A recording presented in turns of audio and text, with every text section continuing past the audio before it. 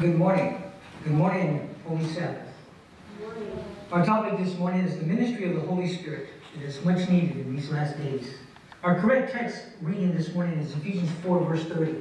And it reads, And grieve not the Holy Spirit of Elohim, which you are sealed until the day of redemption. That's the correct reading. I am very specific with Scripture to my life. And when we change Scripture, we're in trouble. And it says, look at your Bibles, Ephesians 4, verse 30. And grieve not the Holy Spirit of Elohim, which you were sealed until the day of redemption. So in Ephesians chapter 1, verses 10 to 18, you have received a down payment of immortality, a down payment of the Holy Spirit. And this is what is needed in all the churches in all the world. In order to form a remnant, you must have the gifts. And we must understand the gifts that we have. It is in 2 Corinthians chapter 12. Or 1 Corinthians chapter 12. So I'd like to begin this morning with a word of prayer. And understand that what I'm going to share with you is the first time it's ever been shared in this church, in Hopeside. And this is what is needed to finish this work. I have been troubled throughout the whole week.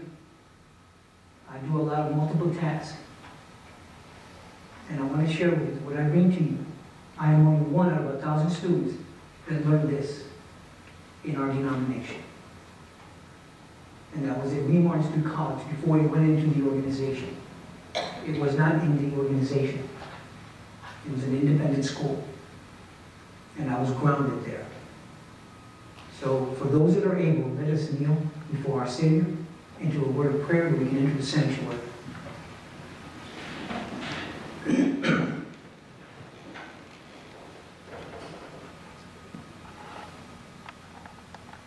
I plead for your presence, that you may dwell in your home. In the name of Jesus Christ, come, Holy Spirit. Amen.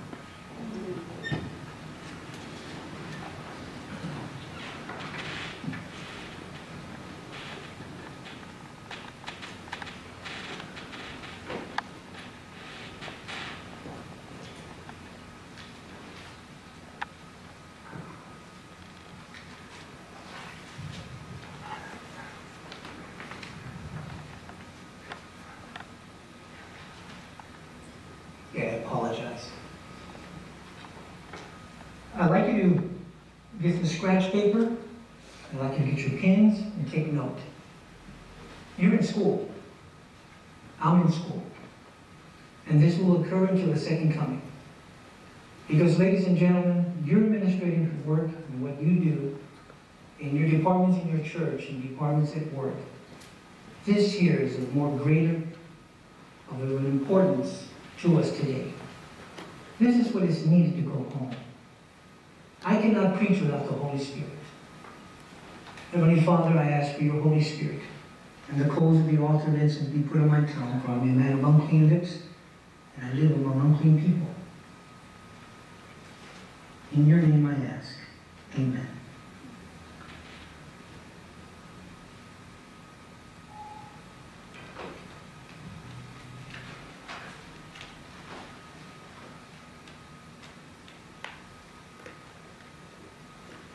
The ministry of the Holy Spirit. The letters that are in blue means obedience, means law. So when we see the rainbow, those are all the colors that are defining what those colors mean. Yellow means love. Your flowers that are yellow means love. Blue means obedience. And that was what the Father stands on, is a sephar floor, which is his foundation. And from there came the Ten Commandments that he wrote with his own finger and gave it to Moses. Let us turn to Genesis chapter 1, verse 2. And the earth was without form and void, and darkness was upon the face of the deep. And the Spirit, Ruach Kadesh, that's the correct meaning in Hebrew, of Elohim, moved upon the face of the waters. And this was written in the year 4002 BC. So mark it down in your Bibles, ladies and gentlemen, as you get these DVDs, as you can see it worldwide, because you're going to go over this again next year, or in a quarter, or in another month. It's going to be repeated. And it will be repeated until Christ comes back because he needs the people to be filled with the Spirit. The question has been asked, does the Godhead exist? Is the Father only the Godhead? Or is Jesus Christ the Godhead? Or is the Holy Spirit a Godhead? Well, in this expository little study, I am going to expose to you, as you take your notes, what the Father told us. Okay? Therefore, in Genesis chapter 2, verse 7, the Jehovah, Elohim, formed man of the clay of the ground and breathed into his nostrils the breath of life, and man became a living soul. So when you read in your Bibles, Genesis chapter 2, verse 7, we're not made from the dust. It doesn't have no minerals, no nutrients, it doesn't have anything. We are made from the best of the world that he created, this earth. We are made from the clay. Clay has minerals. And there's 200 different types of clay. Can I hear an amen? You are special. You are his gems that shall shine prior to his second coming. In Job chapter 33, verse 4, that we've been studying throughout this quarter, in verse 4 reads, The Spirit of Elohim, or Ed, Yahovah, there is no J in his name. It doesn't exist in Hebrew.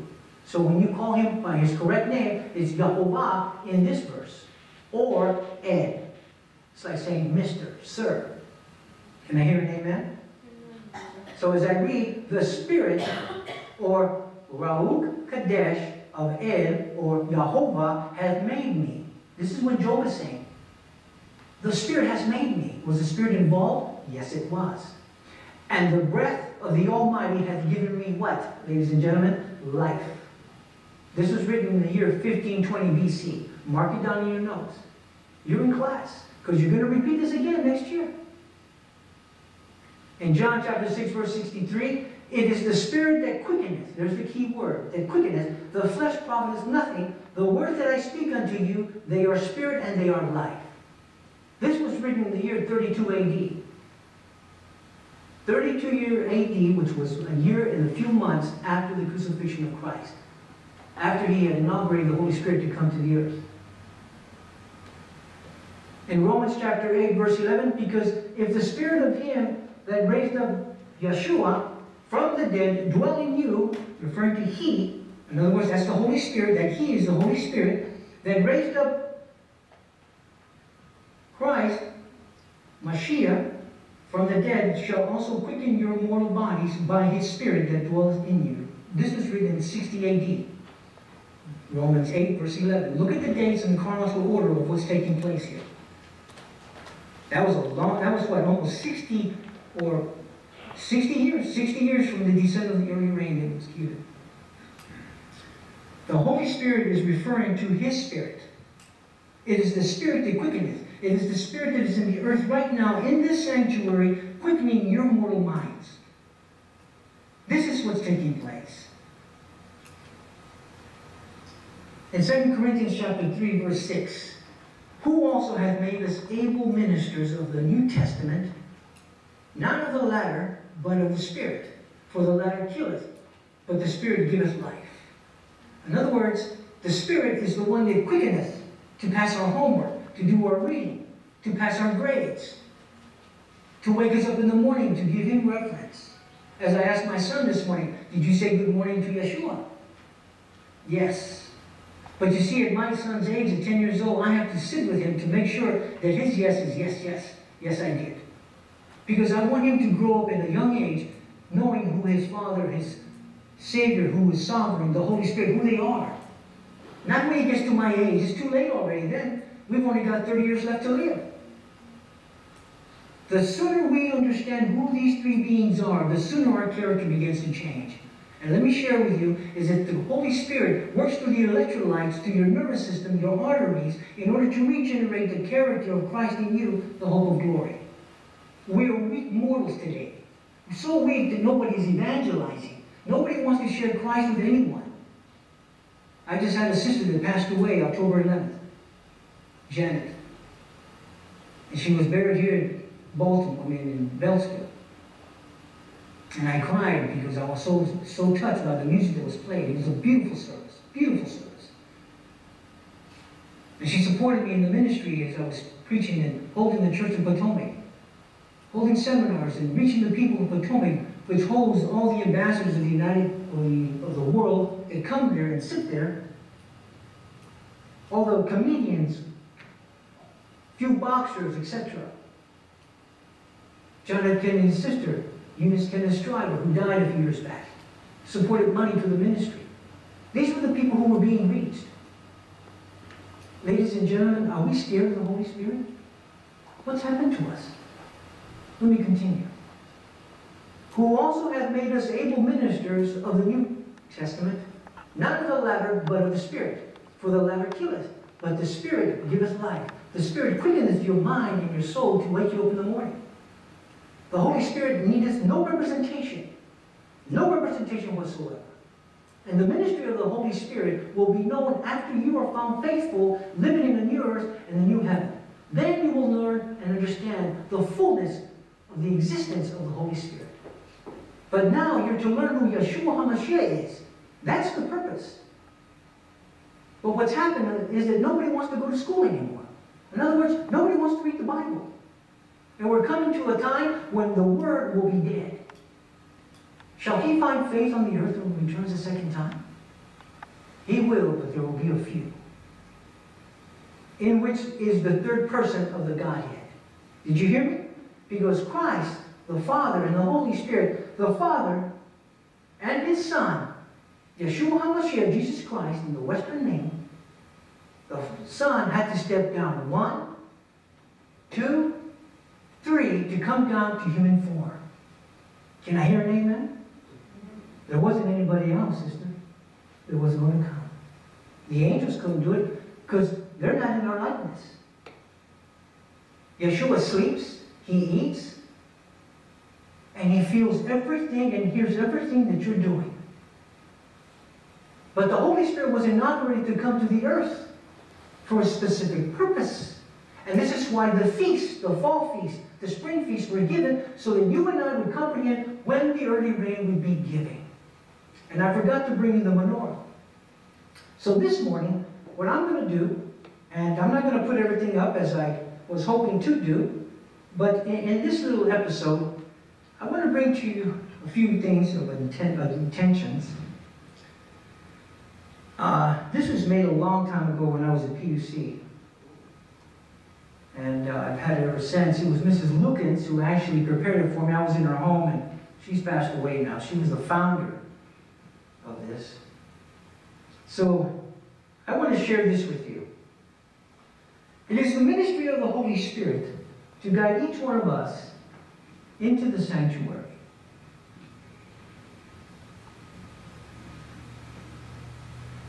This is the Holy Spirit that dwells inside the sanctuary that represents your mind. I'm not going to put up the three layers and the other piece because I think it might fall, but if I have room, well, I'm not going to put it up. I want to make room for what I'm going to put up here. Um, so as I was sharing earlier, I only got so much time here, so I'll do this. And we'll put a bit of smiles in here, Richard. Okay. You see the menorah here?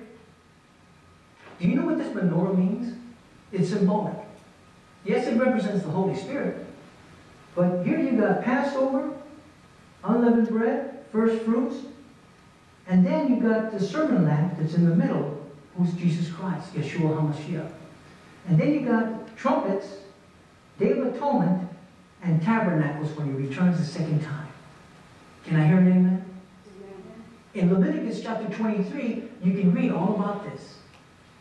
Are we scared of the Holy Spirit? Mm-hmm. Now, the menorah, the servant lamp here, candle, stands a little higher, okay? Because you see, we are waiting for the latter rain. Do you know what the word rain means in Joel chapter 2, verse 30, 23? Do you know what Isaiah 8.20 law means, which is Torah? Do you know what those two words mean? It means the Decalogue, the statutes, the judgments, the feast. This is what it's referring to. But in the Adventist church, what they did, they put the lid on it so that you and I wouldn't know anything about it. Oh, it all, it all was done away with in 31 AD, Richard. Oh, is that right, Pastor King? Is that right, all professors? But we found out different. Now, at one point, we got omnipotence. At one point. Meaning, and I forgot to print out the, the forms for you. I'll bring them next Sabbath. Then we got omnipresent. I definitely got to get me a, make a new one. So I better hurry up before it all falls down. Then we got omniscience. You know what omniscience means? And by the way, this is my favorite subject, ladies and gentlemen. You can sit down with me all day long and I'll put you to sleep as I talk. I want you to remember these three key points. Throughout the whole world, in all these self-supporting ministries and denomination and independent ministries, everybody's saying there's no Godhead. Everybody's saying there's a Godhead. Oh, Trinity, that comes from the Catholics. Godhead. Well, for crying out loud, you've got people over here that only believe in the Father. Then you got people over here that only believe in the Father and Jesus Christ. Then you've got people in the middle that believe in the Father, Son, and Holy Spirit. Well, who's correct? Let me continue. The disciples returned to Jerusalem rejoicing, not that they were deprived of their master and teacher, who for this was to them a cause for personal mourning, rather than joy. But Jesus had assured them that he would send the Comforter, the Comforter, the Holy Spirit, another word for the Holy Spirit, as an equipment for his visible presence. Can I hear an amen? You need this. I need this. And you find your reference, find your reference in the original 1884 Great Controversy, page 256. You can read the whole chapter. You'll love it so much that you'll share it with your friends. Mm. In equal value.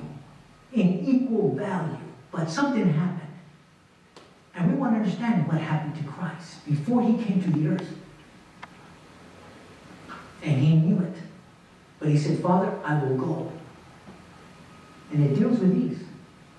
It deals with these right here. Omnipotence, omnipotent, omnipresent, and omniscience.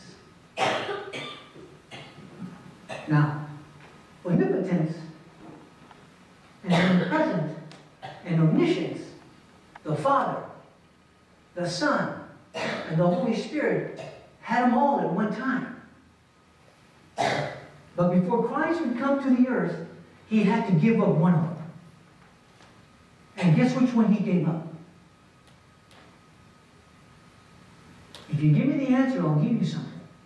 It's a book.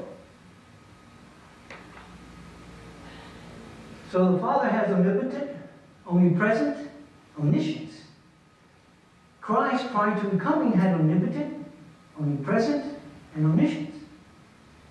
The Holy Spirit, before coming, had omnipotent, omnipresent, and omniscience. But Christ, in the government of the meeting, declared that he would give up omnipresent.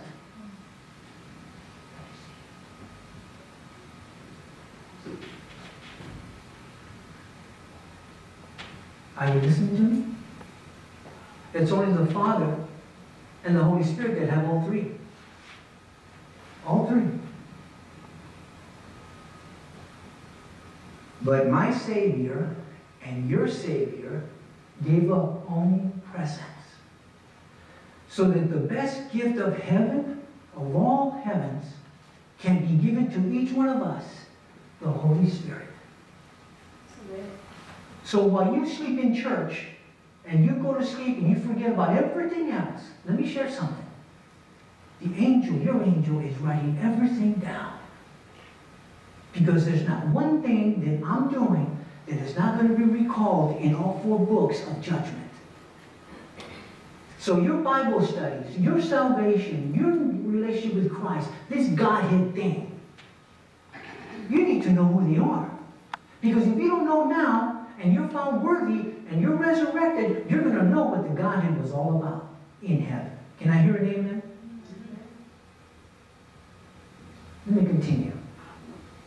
Omnipotence, infinite power of Yahweh expressed by his names, Almighty. Genesis 17, verse 1. Write it down, ladies and gentlemen. This is what I was supposed to print out and bring to you. But I had such a busy day that I didn't get home until 7 o'clock, 7.30 last night. I didn't go to sleep until 12 o'clock this morning and got up at 5 o'clock. My wife said, you don't sleep, Richard. I says, no, no, dear. It's the Holy Spirit that woke me up. It is because the relationship that I had all week to put all this together for you because of the issue and the arguments of the Godhead.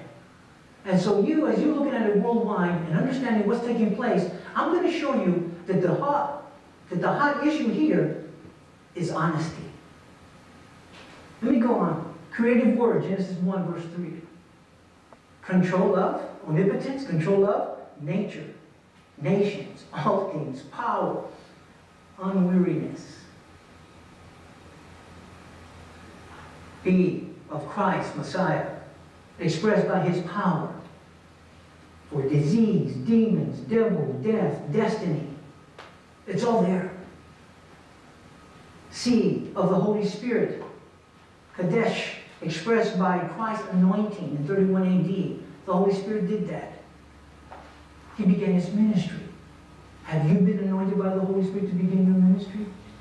Or are we scared of the Holy Spirit? Confirmation of the gospel, Romans 15, verse 19.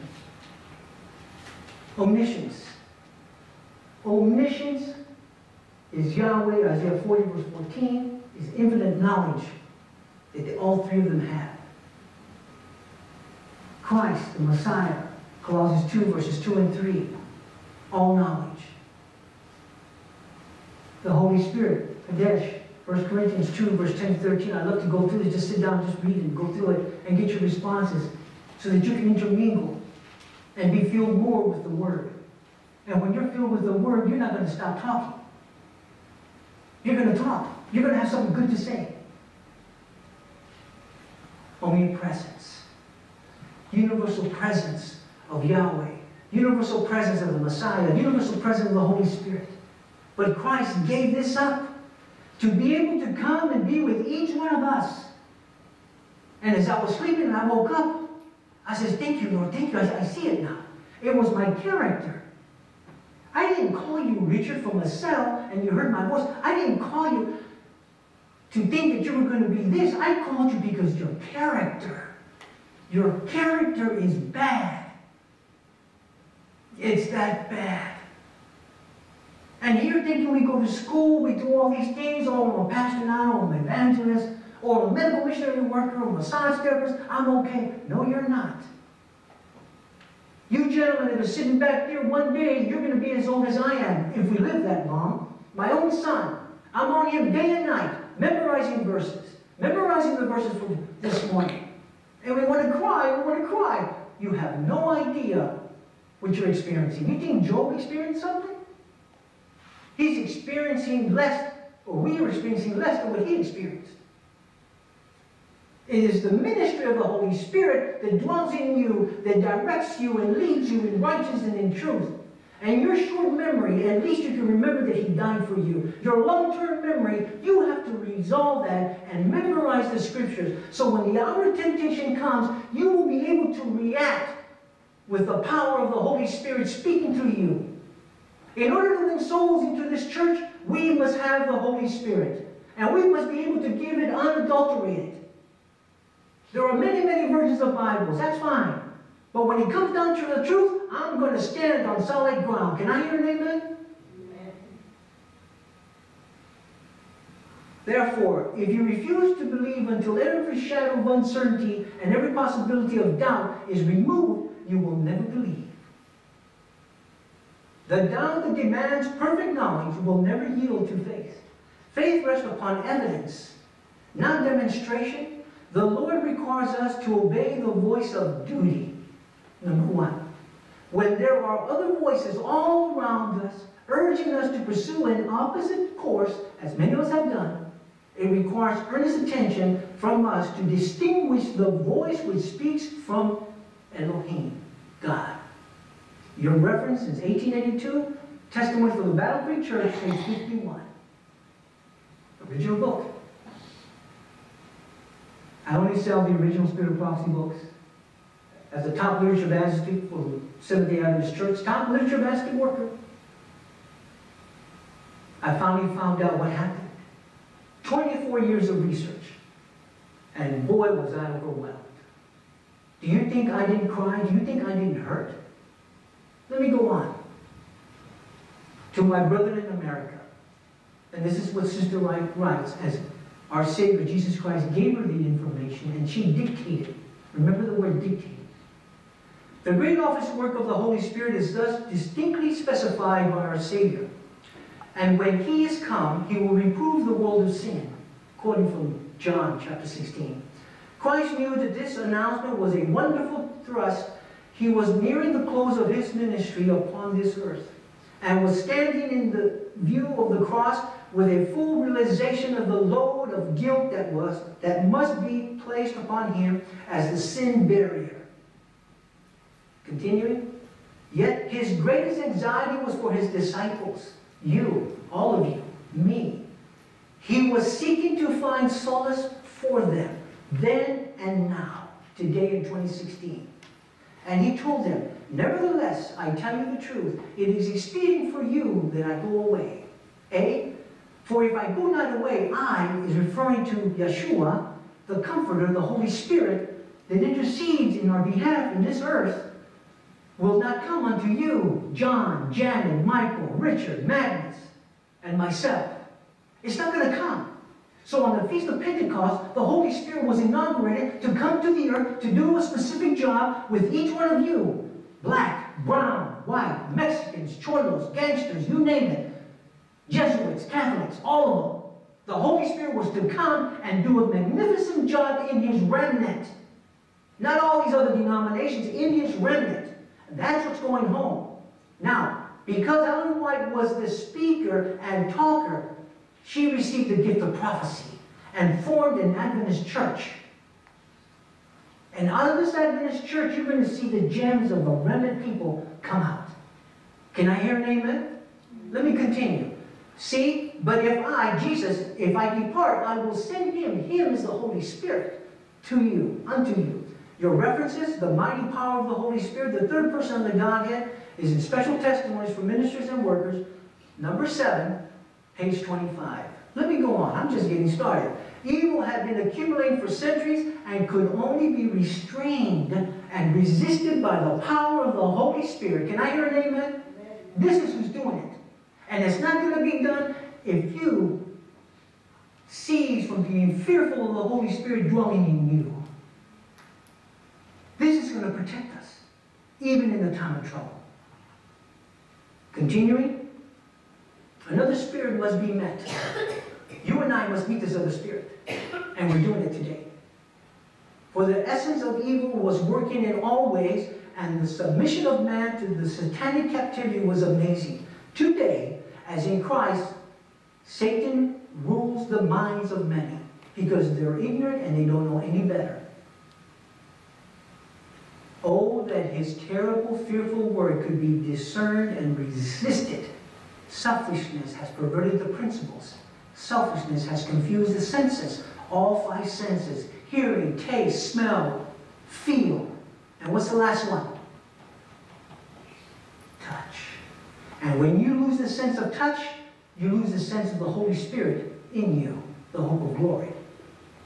Selfishness has confused the senses and clouded the judgment. Have we been scared of the Holy Spirit?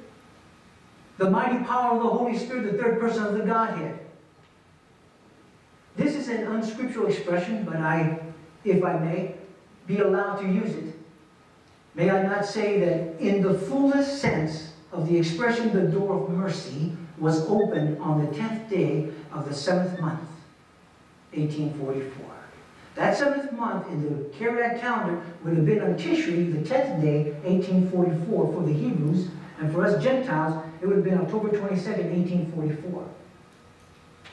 And so if we think that the Holy Spirit is going to last another 5, 10, 20 years, we got another thing coming. Take a look at the next slide. In 31 AD, Christ was crucified. So, in the menorah, we notice that when Passover took place, it was the week of Passover. The first, uh, the second day is a statute, and the seventh day is a statute. It's written inside your Bibles. Now, so we got Passover, and then we come down to the early reign of the Holy Spirit in 31 AD when that took place. Now, in the chart that you see in front of you, in 31 AD, Christ was crucified.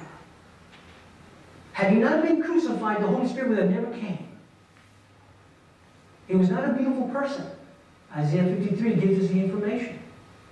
But on 31 AD, he entered the holy place. And as he entered the holy place, the Holy Spirit was actually getting ready. Because as we notice, that it took 1,813 years for 1844 AD. When he resurrected, it took him three days, one, two, three, and on that third day, he was resurrected. He had the power to resurrect himself. 40 days later, from 31 AD, he was preaching. He, re he revealed himself to John the Baptist, who actually had his head back put on his body. You can find the writings in the book of Mark. And what occurred here on these 40 days is he was actually exposing his body to the whole area, the whole continent. And many people were resurrected.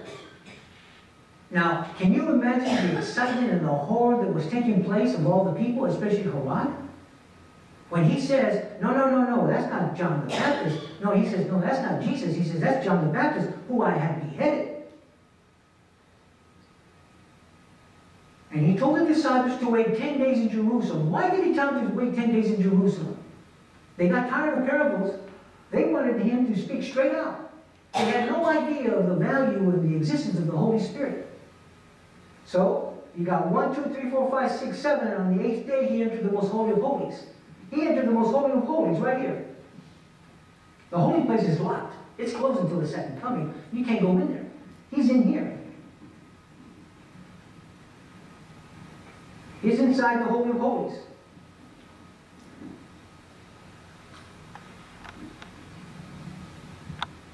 And continue. On that eighth day, when he went inside the most holy of holies, the Father breathed upon Christ the breath of life. He breathed upon him his spirit.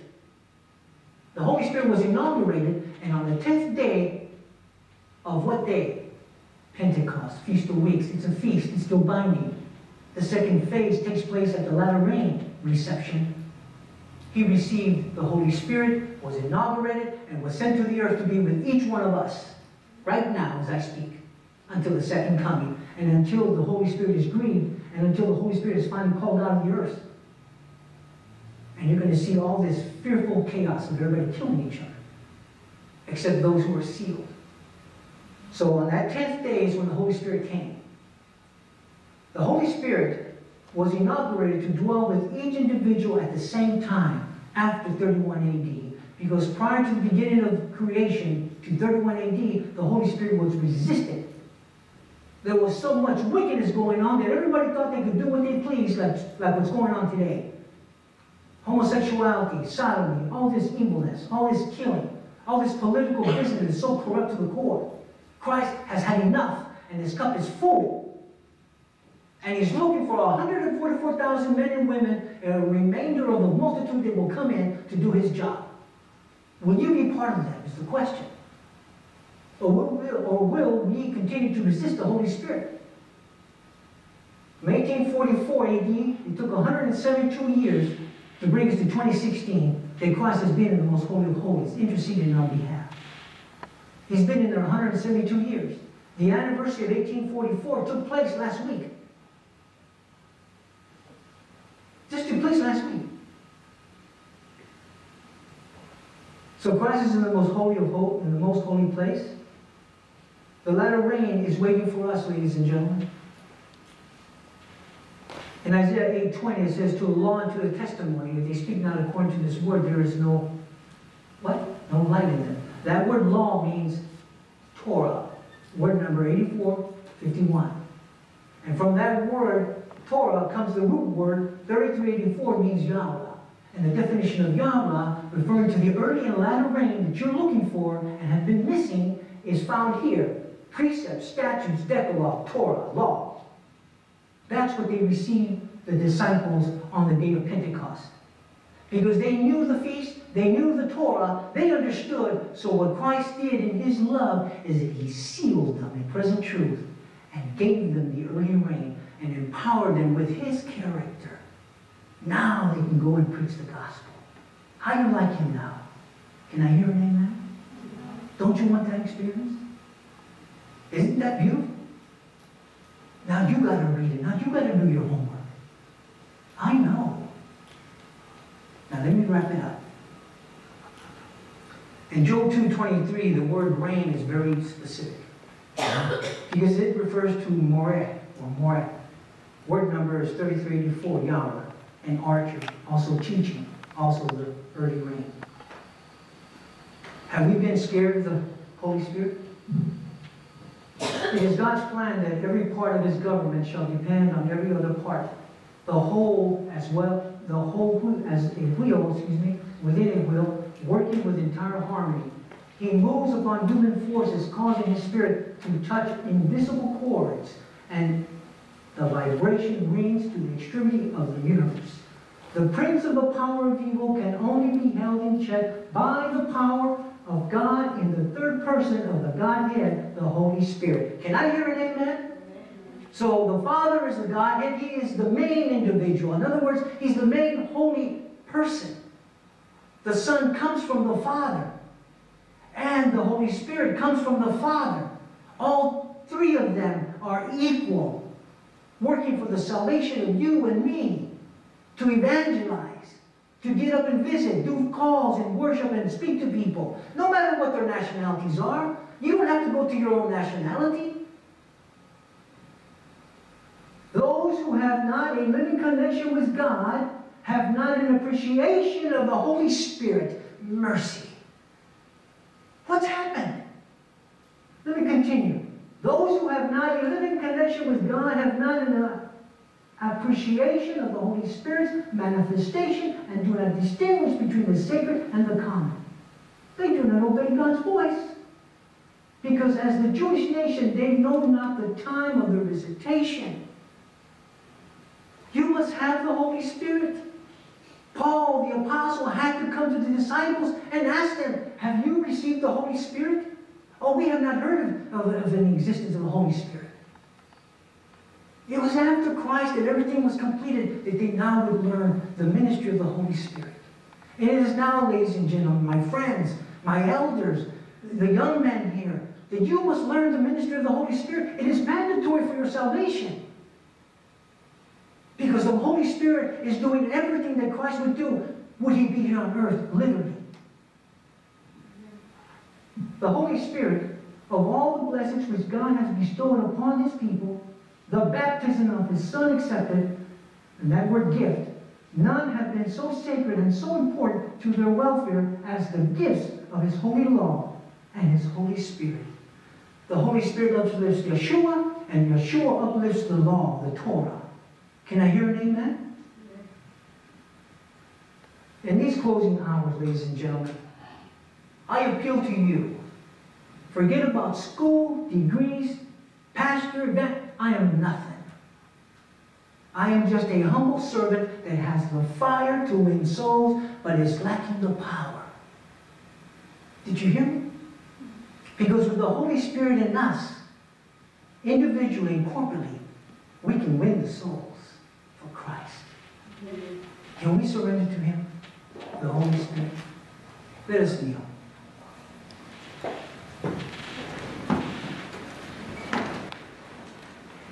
Our Father who art in heaven, forgive me. Forgive everyone for overlooking your presence through your Spirit. Fill us afresh with the baptism of the Holy Spirit and empower us to learn from you is our prayer and hope. In the name of our Savior, Yeshua HaMashiach. And Yahshua's people said, Amen.